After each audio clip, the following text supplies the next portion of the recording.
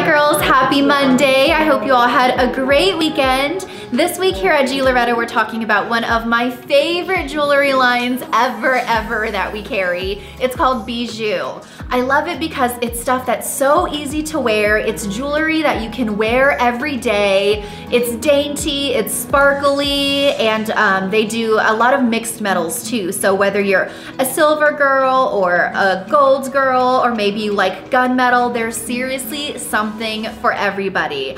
Now, the great thing about this line is it's a fabulous price point and the quality is just undeniable. These pieces aren't gonna tarnish and they're gonna last for a really, really long time. So I wanna show you a couple of my favorites.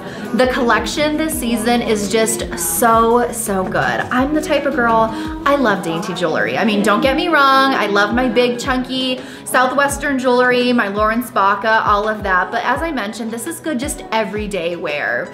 So you're gonna see a lot of really pretty collections like crosses, hearts. Now I know this isn't gonna resonate perfectly on the camera, so you have to come in this week to come see them, but he did a gorgeous cross collection. Again, this is something that has um, the mixed metals, so lots of gold and gunmetal, just looks so pretty and so bright together. Um, they also did this fabulous heart collection this is something that would make such a great gift too. So graduations, um, maybe a bridal shower gift, a birthday gift.